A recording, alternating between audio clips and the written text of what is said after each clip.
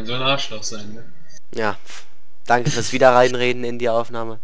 Naja, Nick hat halt einfach keinen IQ, wir wissen es ja. IQ vom Toastbrot, was ungefähr bei 3 liegt. Aber gut, damit moin und herzlich willkommen zu South Park The Stick of Truth. Ich mache das jetzt bestimmt schon im dritten Versuch. Dauernd habe ich irgendwelche Scheiße damit gemacht. Ich habe es mir jetzt vorgenommen. Ich will das jetzt bitte durchkriegen. Ja, ich brauche, denke ich mal, nicht viel dazu zu sagen. Wir machen ein neues Spiel. Ich denke, den Charakter mache ich auch wie beim letzten Mal. Außer mit einer kleinen Änderung. Ich möchte ihn halt so anpassen, wie ich auch im Real Life aussehe. Aber jetzt kommt erstmal Vorschau. Ich bin jetzt erstmal ruhig. Nick, du bitte auch.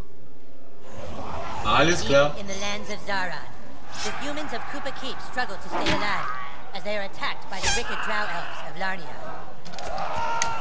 Darkness falls as the humans beg their king to save them, a noble king known only as the Grand Wizard.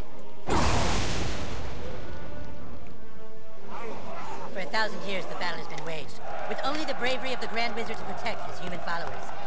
But even though the Wizard King is so undeniably cool, the Drow Elf armies continue their attacks. They seek the humans' most treasured relic, the Stick of Truth. But the tides of war are soon to change, as news of a new kid spreads throughout the land. In order to save the humans, the Grand Wizard must get to the new kid, before the Drow Elves can manipulate his mind, and use him to take the sacred relic from human hands. For whomever controls the stick, controls the universe. Uh, South Park, The Stick of Truth, ja. Ich würde sagen, man muss dazu nicht sagen, es wird natürlich ein 100% Display von mir. Das heißt, ich werde euch zeigen, wie ihr jeden Sammelgegenstand bekommt. Das heißt, Waffe, Kleidung, Shin Pokémon, halt das alles. Pokémon. So. Ich glaube, ich nehme das, weil mir jetzt das tatsächlich doch noch am ähnlichsten sieht. Was Besseres finde ich einfach nicht. Ich habe das Game noch mal kurz angezockt. Oder vielleicht... Pff, echt schwere Entscheidung. Nee, ich glaube, da nehme ich auch da meine letzte Frisur hier. Meine letzte Frisur war ja die hier. Würde sagen, dann dazu das hier. Dazu meine beiden Standardsachen hier. Hm. Und fertig. Gut. Dann kommt jetzt wieder eine kleine Filmsequenz. Nick, bitte kurz Ruhe. Mach ich.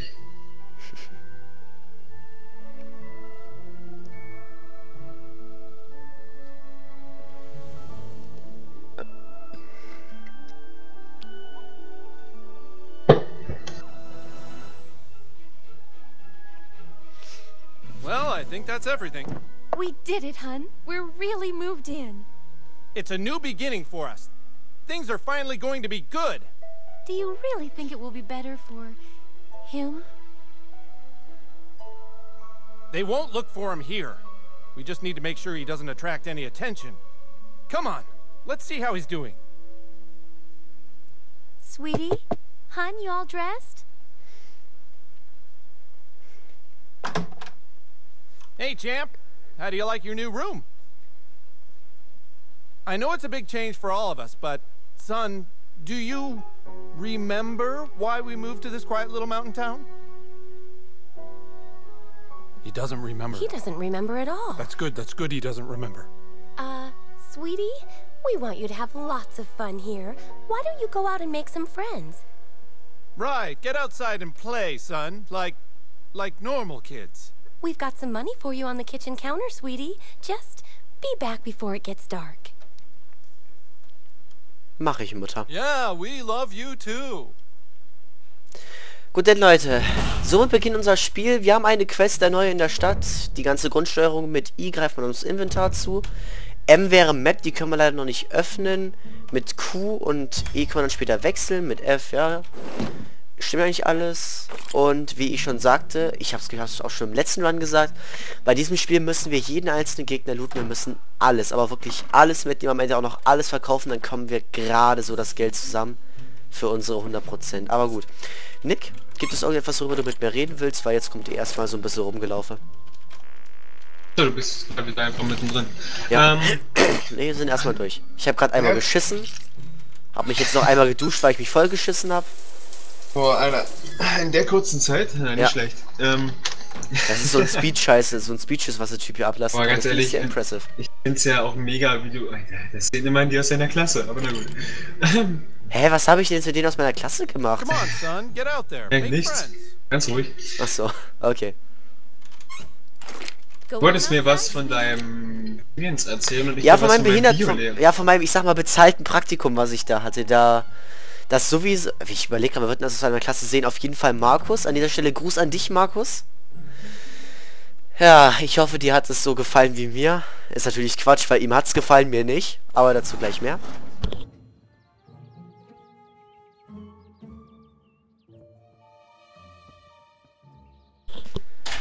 Es ist immer schön, wenn die kleineren Geschwister während der Aufnahme einfach reinplatzen. Gut. Tut mir leid, ich muss mich gerade kurz mu äh, muten. Also ich erzähle sofort davon, ich habe halt jetzt am Anfang noch...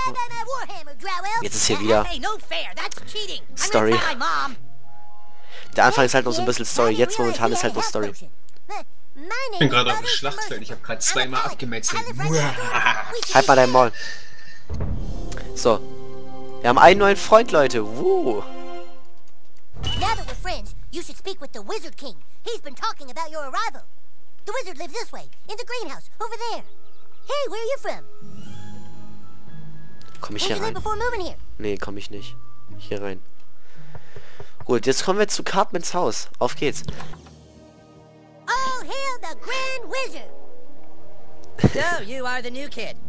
Your coming was foretold by Coldwell Banker. I am the Wizard King. But the time for talk is not now. Let me show you my kingdom. Okay, Leute. Ab geht's ins Königreich von Cooper Keep. Oh, who's your new friend, Eric? Shut up, Mom. Not now. Ach ja. Ich, ich liebe dieses Spiel. Das Spiel ist einfach zu genius. So, jetzt kommt... Wie gesagt, ich erzähle dir gleich, du kannst gleich wieder reden. Es ist halt immer noch gerade Story. To the kingdom of Koopa Keep.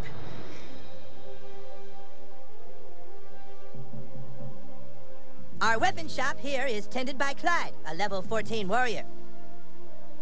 Here you can see our massive stables, overseen by the level 9 ranger, Scott Malkinson, who has the power of diabetes. and here, of course, is the breathtaking and lovely Princess Kinney, the fairest maiden in all the kingdom. Don't ask why Kinney wanted to be a chick, it's just how he seems to be rolling right now.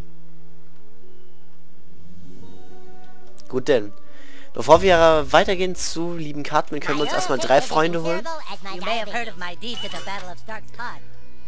Und Kenny können wir uns nämlich auch noch holen. Wir holen uns die Blume, bringen die zu Kenny und haben damit auch ihn als Freund.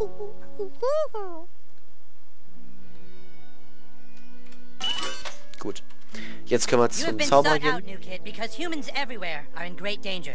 I need something from you, and in return, I am prepared to allow you into my kingdom. I know you are very excited. It's time for your first quest, but first, please tell us thy name. So, jetzt darf ich mir einen Namen auswählen. Es ist vollkommen egal, was ihr hier auswählt. Ihr könnt euch auch rein theoretisch... Mal gucken, ich nenne mich mal Onkel Ficker. Es wird auf jeden Fall kommen Saftsack. In dem Sinne ist es vollkommen egal. Ihr könnt auf Ja oder auf Nein gehen. Ich empfehle Ja, dann kriegt ihr nämlich ein Hidden Achievement dafür.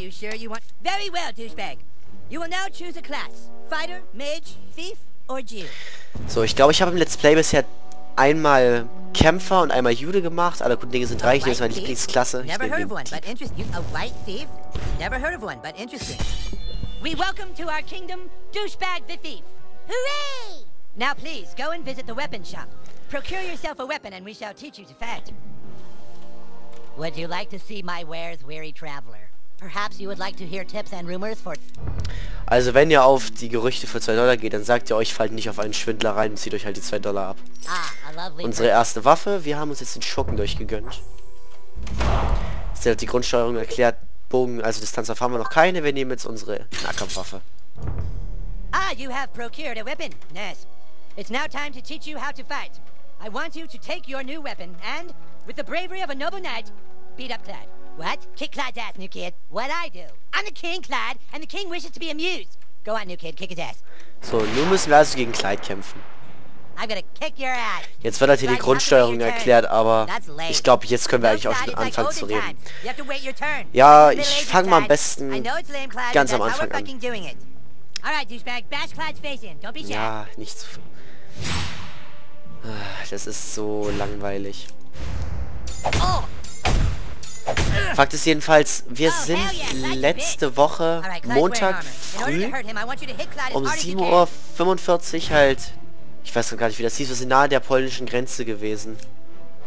Um, wir waren noch, ich glaube, Greisnitz hieß die Stadt irgendwie sowas. Oh Gott, ich, ich konzentriere mich gerade so sehr aufs Sprechen, ich gerade so das Tutorial Oh, verkacken bin. Fucking nice, bro. It's exactly what you do to guys with armor like that. Okay, listen up. The key to surviving in battle is not to get hit in the bows. Clyde, it's your turn to attack. Douchebag, protect your bows. Jetzt wird uns halt erklärt, wie wir blocken. Beim Blocken gibt es auch den Trick, sobald ihr diesen Kreis seht, immer die rechte Maustaste drücken. Ist an sich eine gute Ding. Alright, it's time to use your heroic powers. Using your ability takes power points, or PP for short. PP. if you have a fucking better name for them, then fucking say it, Clyde. Fucking asshole. I'm the king, and I say it's PP. Douchebag, use your thief ability to make Clyde pay for insulting the king. Jetzt dürfen wir halt einmal einen Machtangriff machen. Ich werde übrigens sehr, sehr, sehr viel mit Meucheln spielen, weil das eben die beste Attacke ist.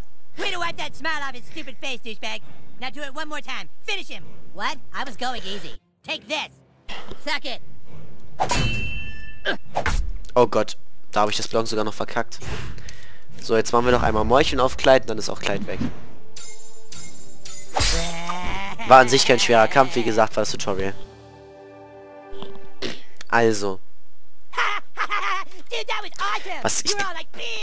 Like, nah, nah. okay, okay, you prove yourself worthy, douchebag. Now come inside the war tent and I shall let you see the relic. ich glaube, was mich persönlich am meisten ankotzt momentan ist, dass ich nicht, dass ich nicht diese Story-Sequences skippen kann, aber gut. Wir gehen rein und schauen uns mal das Relikt an. The relic for which human and elf are willing to die. The Stick of Truth. Just two days ago, we took the stick back from the elves. Our kingdom was dying, but now it thrives. For whoever controls the stick controls the universe. Don't gaze at it too long, for its power is too much for mere mortals to look at. Now that you have seen the Stick of Truth, let's discuss your dues. Being a member of my kingdom costs $9.95 for the first week, $4 of which is tax deductible. Alarm! Alarm! Alarm! Someone has sounded the alarm! Alarm! Alarm! Alarm! What is it? The elves are attacking! Oh my god! Defensive positions! Gut, also kaum sind wir hier, geht also der erste Elfenangriff los. Ja, wir müssen jetzt das Kingdom of Cooper Keep, Schrägstrich den Stick of Truth, gegen die bösen Elfen verteidigen. Don't let them through! Give us the stick, humans! Fuck you, Drow Elf! Come and get it! Clyde, guard the stick of truth while we defend the fortress! Aye, aye!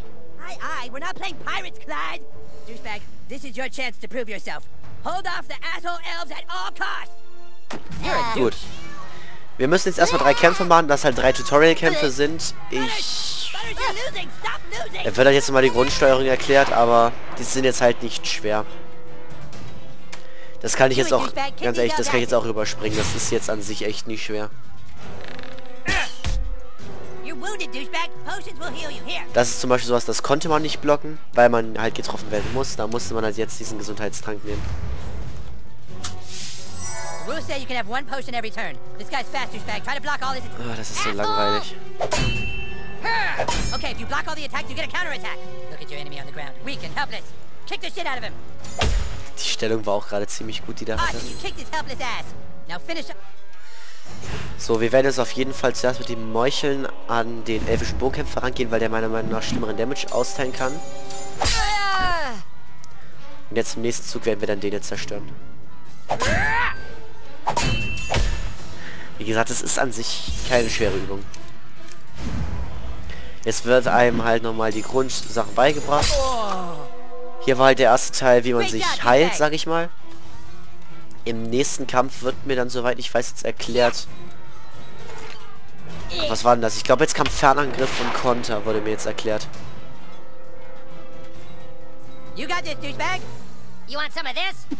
Ah, jetzt muss ich ja. Take this! So, er ist jetzt auf? Kontern gegangen. Wir müssen jetzt ihn angreifen, um zu sehen, dass wir jetzt aufs Maul kriegen, weil er halt kontert. oh. Und jetzt müssen wir halt mit dem Bogen auf ihn schießen. Ich glaube, ja, stimmt. Jetzt auf den zu gehen wäre besser, weil er Yeah, auch gleich weg. Jetzt wieder in die Reflexionshaltung, das heißt, wenn wir jetzt Pfeile schießen, kriegen wir die zurück. So, ich könnte ihn halt jetzt angreifen, aber äh, halt mit normalen Waffe, aber ich greife ihn jetzt mit meiner Spezialattacke an. Aber dann nicht die Garantie, dass er garantiert nach dem nächsten Zug, wenn er mich angegriffen hat, down ist. Sag ich doch. So, und das Allerwichtigste, was ihr nie vergessen dürft, ist looten.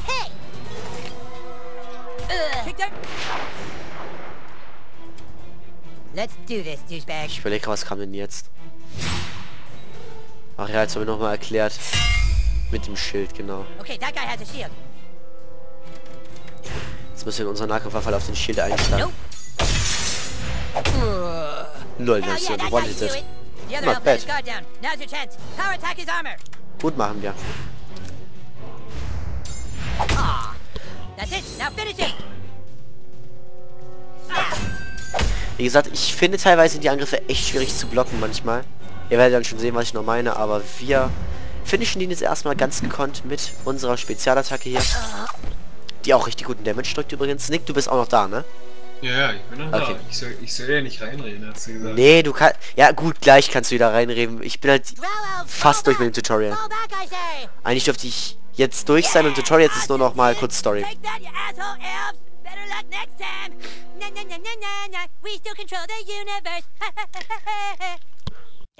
Wenn ich eine Aufgabe bekomme, What? dann halte ich mich Stick auch it dran. through. The elves got. Also, That was your one goddamn job, Clyde. To guard the stick of oh mein Gott, fucking oh mein Gott. truth. Fresse! Clyde, you are hereby banished from space and time. what? No, you can't do that. Yeah, I can. You're banished and lost in time and space. Yeah, go home, Clyde!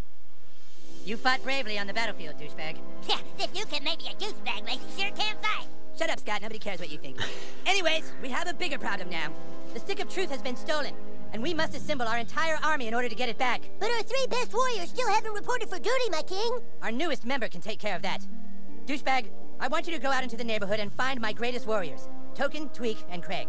I'm texting their pictures to your personal inventory device now. But beware. The lands outside are full of marauding drow elves, monsters, and sixth graders.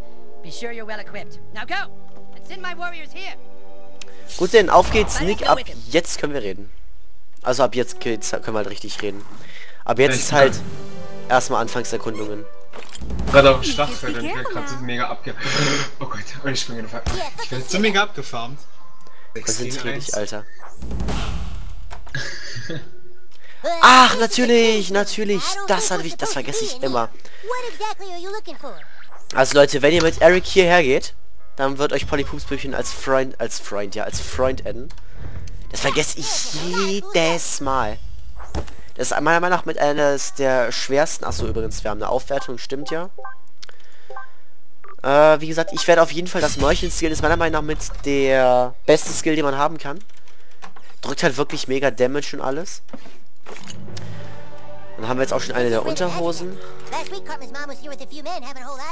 Ihr werdet noch sehen, also alles, was ich jetzt hier mache, wird dann halt später darauf hinarbeiten, dass wir halt zum einen unsere Cartman 120 gang. Freunde kriegen und unsere ganzen Waffen. Oh, Es gibt ein paar Waffen, schrägstrich ein paar Chip-Pokémon, schrägstrich ein paar Ausrüstungsgegenstände, die man verpassen kann. Aber wenn ihr mir folgt, dann dürftet ihr eigentlich nichts verpassen. Oh, whoops. I'm sure that was an accident. Okay, wo können wir denn jetzt hin? street. Können jetzt hier rein? Dann ist hier ein Shin-Pokémon.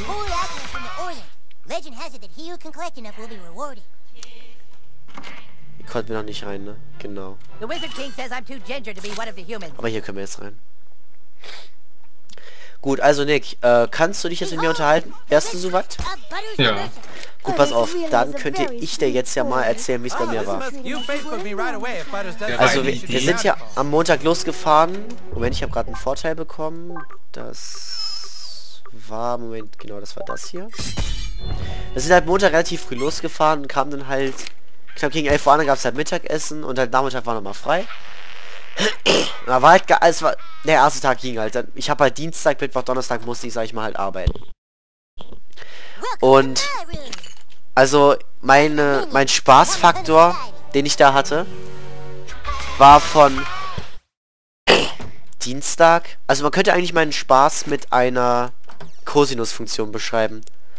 Wobei man einfach sagen muss, dass meine extrem eingebrochen ist und extrem komisch zu beschriften wäre. Fakt ist jedenfalls, der erste Tag war an sich mega geil. Wir hatten halt alle mega Spaß, wir haben halt alle richtig, ich sag mal jetzt hier, haben halt die Gegner erkundet, ich habe halt ein bisschen trainiert.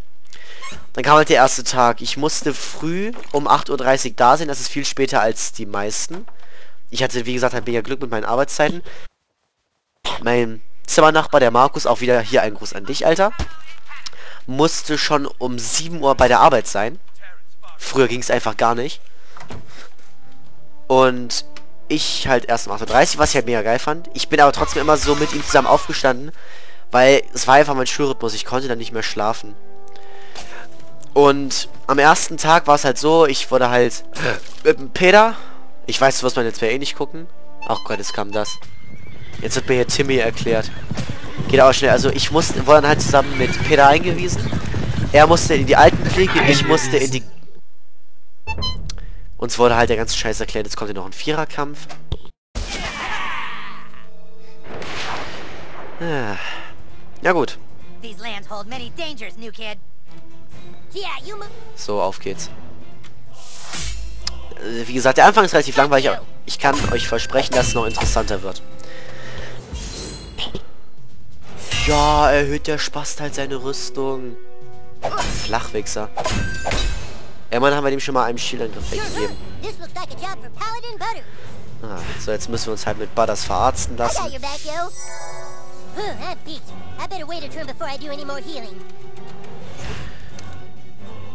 Ich überlege gerade, äh, das lohnt sich nicht, weil der da drüben noch Rüstung hat. Deswegen würde ich sagen, gehen wir mal auf dem. Und, und hauen sie mit einem Schaden, weil sie im Heim... Ah Gott. Die kann man nicht blocken. Egal was man macht. Weil man jetzt halt erklärt kriegt, dass man jetzt... Ja, ich blute. Dann verliere ich in der Runde was. Jetzt muss ich Mineralwasser trinken. Das Gute von Spritzi. Jetzt habe ich keine Debuffs mehr. Okay. Oder was auch immer drin ist. Könnte auch Wodka sein. Gut, als allererstes holen wir mal den Bogenschützen weg, weil der kann dann doch ziemlich auf die Eier gehen mit dem Fallen. Und Badas wird jetzt einen Hammer der Stürmer auf die beiden vorne machen.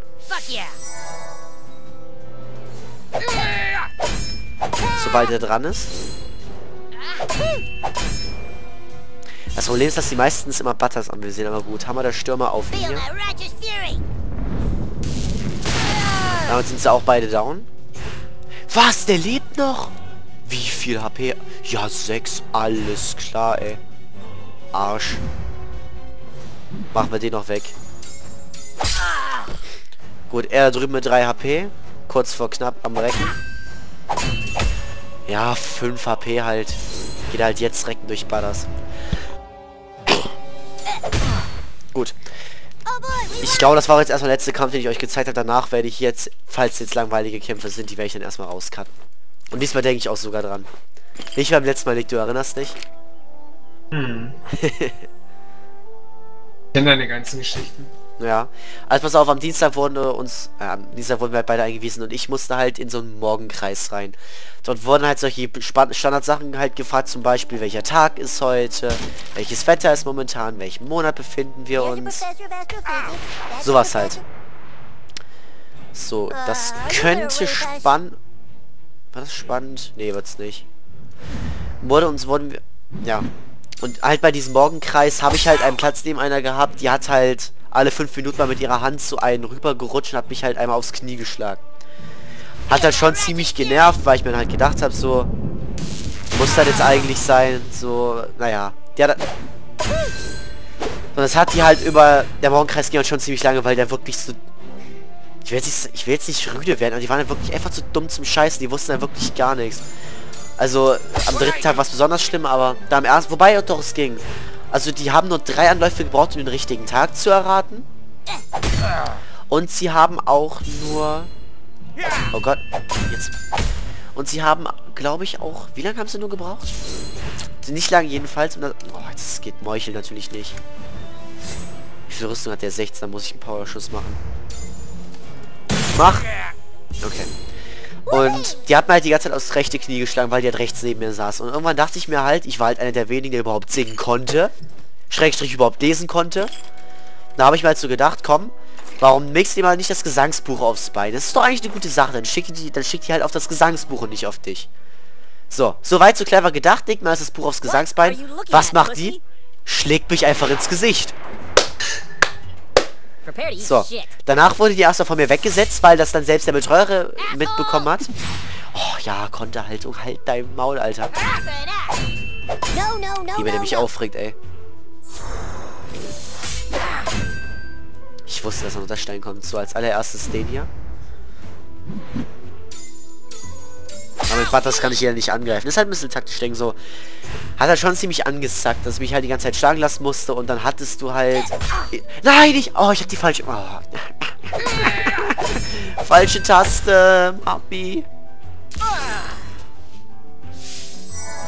Fakt ist jedenfalls, irgendwann, als wir dann endlich mal durch waren mit dem Morgenkreis, was an sich schon ziemlich nervig war, weil abgesehen da, wir hatten halt einen, der saß halt im Rollstuhl die ganze Zeit so äh, äh, äh, gemacht.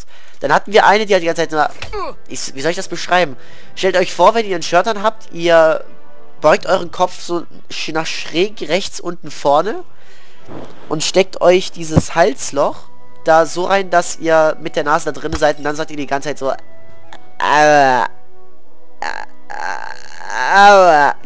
so ungefähr ging es dann auch da die eine Stunde lang. War schon eine ziemliche Zerreißprobe. Danach haben wir Mensch ärgere dich nicht gespielt.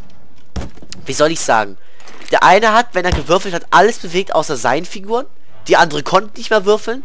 Und der dritte hat dann später im Rage das Spielfeld geflippt. So, der erste Tag war... Warte mal, hier war... Der Mann, der... Ne, die Frau war drin, ne? Genau. Genau. So, haben wir wieder einen neuen Freund. Hier oben war dieser Pete Melman, soweit ich weiß. Genau. Ne, der don't war es einfach nur. Und damit haben wir auch schon unsere erste Rüstung bekommen. Hat jedenfalls ziemlich angesagt. Am Nachmittag dann, das war, das war nur der Vormittag, ne? Am Nachmittag sind wir dann halt spazieren gegangen. Und das war für mich die absolute Zerreißprobe. Stellt euch vor, ihr habt jemanden neben euch, der permanent, und ich meine wirklich permanent, das heißt alle zwei Sekunden, über einen Zeitraum von knapp zwei Stunden, permanent mit seinen Zähnen knirscht, dass man das bis zu 10 Meter weit hört. Ich, ich war kurz vor Durchdrehen. Es ging die ganze Zeit nur... Ich, ich war so kurz vor der Eskalation einfach nur die ganze Zeit. Das Einzige, was mir davon abgehalten hat, war der Betreuer, weil der war halt echt lässig drauf. So, jetzt kriegen wir Unterhose Nummer 2 und eine neue Quest. Boah, ich hab grad mega Schnupfen. Nick, Ja. wäre schön, wenn du auch was redest. Was ich hier rein mache, ist eher so eine, so ein Solo-Commentary. Ich, aber ich sehe schon, dir gefallen meine Geschichten, die ich hier erzähle. Ja, die sind allerherrlichst. Von daher. So, ach ja genau, das Allergeilste war ja auch, ähm, am ersten Tag war, waren wir dann halt mit dieser Behindertengruppe wandern. Zumindest gab's, zumindest konnte mehr als die Hälfte von uns laufen. Das war schon mal mehr als ich erwartet hatte. Okay, warte, jetzt gibt mir jemand eine Quest.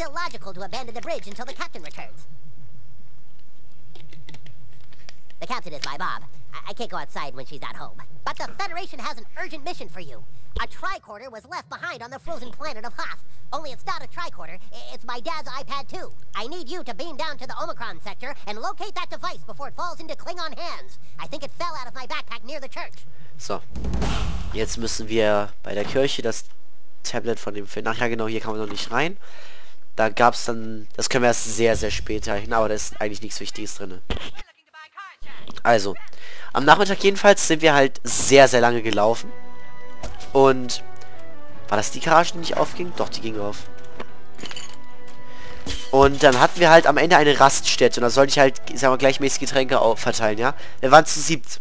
Ich, der Betreuer und halt fünf der Behinderten. Kein einziger von den Behinderten hat es geschafft, sein Getränk zu trinken, ohne dass es einen Unfall gab. Mein Gott, aber warum du eine Mecke hast? Ich meine, die Leute, die behindert sind, können ja auch nichts dafür. Du musst es mal von der anderen Seite Ja, sehen. ich war, ja, ich ja meckere auch nur, weil ich meine Arbeit halt dort scheiße fand. Mir hat es halt persönlich überhaupt nicht gefallen.